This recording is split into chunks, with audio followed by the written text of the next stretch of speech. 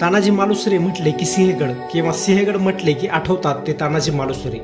त्या नरवीराचे शौर्य आपल्या मनात घर करून बसले आहे. आज आपण या व्हिडिओद्वारे त्या नरवीराने जिथे आपले शौर्य दाखवले जिथे आपले रक्त सांडले प्राणाची आहुती दिली त्या ठिकाणाचीच म्हणजेच सिंहगडाची माहिती सादर करणार आहोत.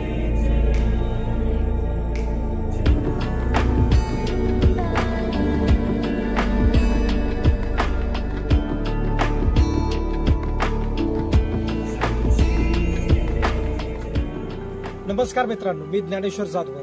आज आम्ही बऱ्याच दिवसानंतर व्हिडिओ घेऊन आलेलो आहोत. या व्हिडिओमध्ये आपण सिंहगड एक्सप्लोर करणार आहोत. चला तर मग व्हिडिओला सुरुवात करूया. पूर्वी हा किल्ला आदिलशाही राजवटीत होता. दादोजी कोंडदेव हे आदिलशाहीकडून सुभेदार म्हणून नेमले होते. पुढे इसवी सन सोळाशे सत्तेचाळीसमध्ये त्यांनी गडावर आपले लष्करी केंद्र बनवले. इसवी सन सोळाशे एकोणपन्नासमध्ये शहाजीराजांच्या सुटकेसाठी शिवाजी महाराजांनी हा किल्ला परत आदिलशहाला दिला. पुरंदराच्या तहात जे किल्ले मोगलांना दिले त्यामध्ये कोंढाण्याचा देखील समावेश होता.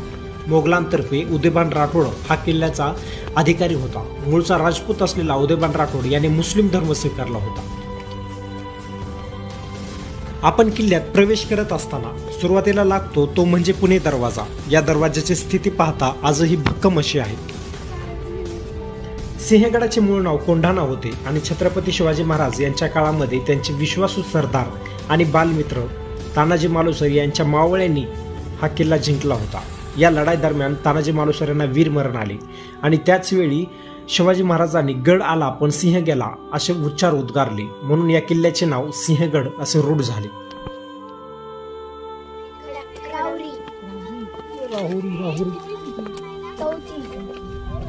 गडावर पिण्याची पाण्याची सोय व्हावी म्हणून ठिकठिकाणी आजही पाण्याचे टाके बांधलेले आपल्याला पाहायला मिळतात.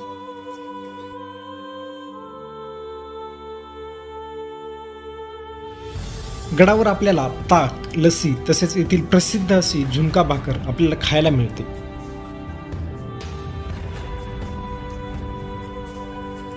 जेवण करून झाल्यानंतर आम्ही पुढे निघालो देव टाके पाहण्यासाठी. या टाक्याचा उपयोग पिण्याचे पाणी म्हणून होत असे व आजही होतो.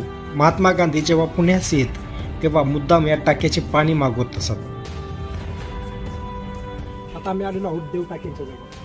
किल्ल्यावरती पिण्याची पाण्याची सोय याच टाक्यातून केली जाते. या टाकीमध्ये कचरा वगैरे व्हावा नाही म्हणून याला पत्र्यांचं आच्छादन पण केलेलं आहे. पाणी एकदम स्वच्छ असं आहे. पाणी तुम्हाला दाखवतो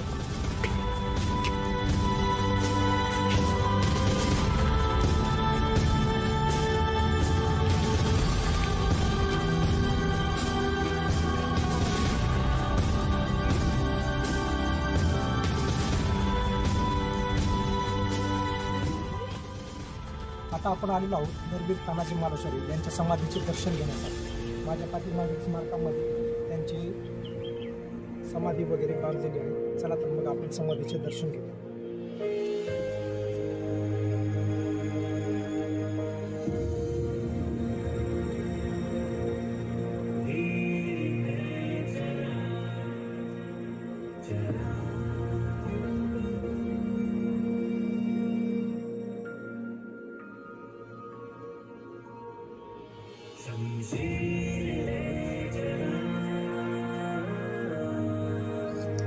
कोंढाणा सुभेदाराने त्यांचे प्राणपणाला लावून शौर्याची बाजी लढवून मिळवला व आपले प्राण सोडून या मातेला त्यांनी कवटाळलं.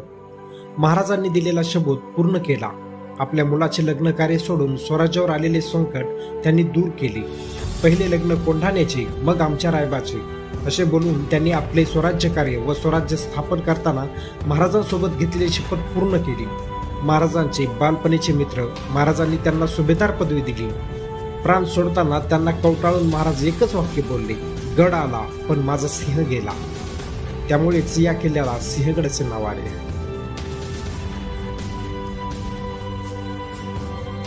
समाधीचे दर्शन घेऊन समोर गेले की लागते ते म्हणजे कोंढाणेश्वर मंदिर. हे मंदिर शंकराचे असून ते यादवाचे कुलदैवत होते. आत एक पिंडी व साम असणारे हे मंदिर यादवकालीन आहे.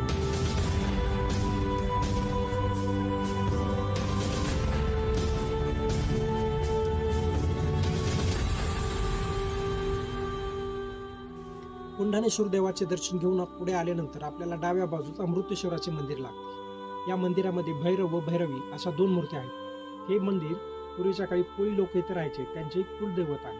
या मंदिरामध्ये भैरवाच्या हातात राक्षसाची मुंडके आपल्याला पाहायला मिळते. चला तर मग यांचे दर्शन घेऊया.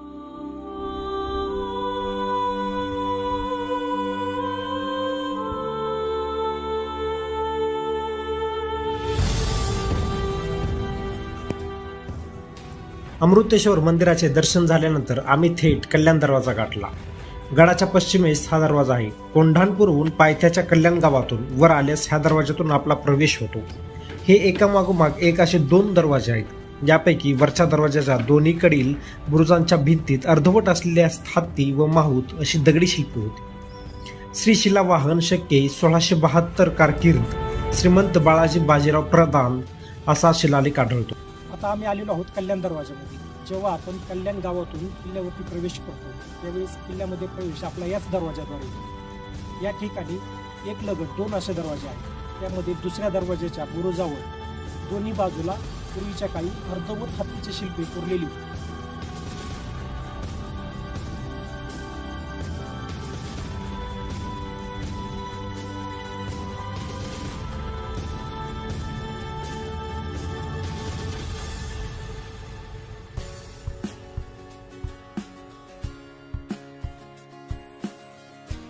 माझ्या पाठीमागील बोर्डवरून असे निदर्शनास येते की माझ्या पाठीमागील बाजूस किल्ले सिंहगडाचा मुख्य परिसर तसेच कलावंतीनी बुरुज व तानाजी कडा आपल्याला पाहायला मिळतो. ह्या सर्व गोष्टी आपण चांगल्या प्रकारे पाहण्याचा प्रयत्न करूया. तानाजी कडा आपण पाहणारच आहोत. त्याला तर मग आता तानाजी कडा सुरुवात करू जेथून तानाजी मालुसरे यांनी किल्ला सर केलेला होता. झुंजार बुरुजावरून मागे येऊन तटाच्या भिंतीच्या बाजूने पायवाटेने तानाजी कडाकडे जाता येते. हा कडा गडाच्या पश्चिमेस आहे. येथूनच तानाजी मावळ्यांसह वर चढले होते.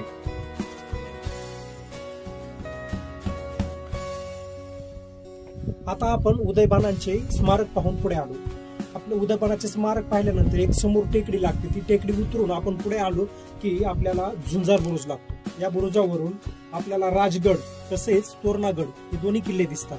तो थोडं असं खाली डोकावून पाहिलं की आपल्याला पानशेचे खोरे पण दिसते आणि थोडस असं लांबवर नजर देऊन जर पाहिली तर पुरंदर किल्ला देखील आपल्याला नजरेस पडतो. हे बुरुज जे आहे ते सिंहगडाच्या दक्षिणेकडील टोकेला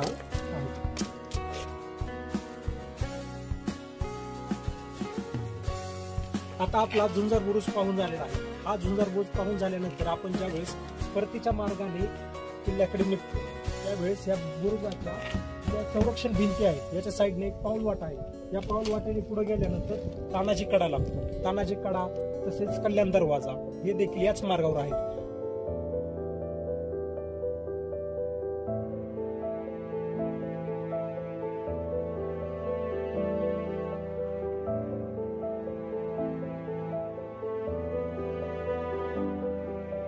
आता आम्ही निघालो आहोत तानाजी कडा तसेच कलावंतीनी बुरुज पाहण्यासाठी.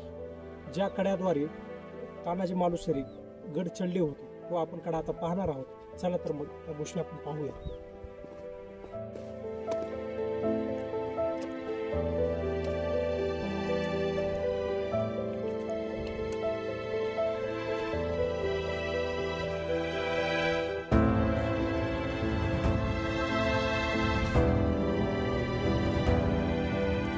कलावंतिनी बुरुज पाहून झाल्यानंतर आम्ही निघालो राजाराम महाराजांचे स्मारक पाहण्यासाठी. राजस्थानी पद्धतीची रंगीत देवळासारखी जी घुमटी दिसते ती छत्रपती राजाराम महाराज यांची समाधी.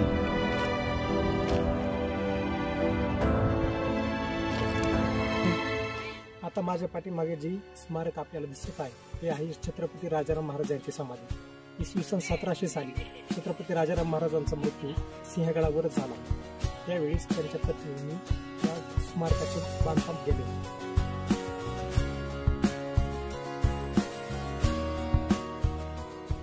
आता मी त्या स्मारक समोर बसलेलो आहे जिथे पूर्वीच्या काही लोकांनी टिळक आहे याच ठिकाणी महात्मा गांधी तसेच सुभाषचंद्र बोस लोकांनी टिळकांना भेटायला आले रामलाल नंदराम नाईक यांच्याकडून खरेदी केलेल्या जागेवरच्या ह्या बंगल्यात बाळ गंगाधर टिळक येत असत. एकोणीसशे पंधरा साली महात्मा गांधी व लोकमान्य टिळक यांची भेट याच बंगल्यात झाली होती.